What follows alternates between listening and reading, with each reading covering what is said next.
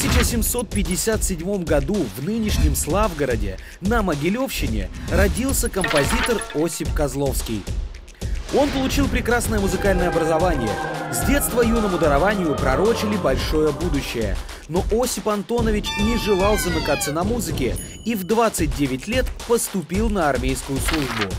Принимал участие в войне против Турции и дослужился до офицерского чина.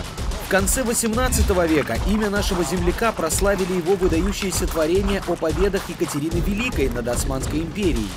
Композитор принимал участие во взятии Измаила и написал оперу по мотивам этого сражения. А в 1791 году создал полонез «Гром Победы. Раздавайся» на слова великого поэта Гаврилы Державина.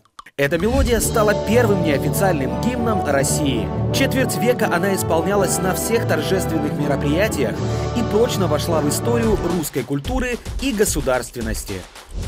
Подписывайтесь на канал и узнайте больше о нашей истории.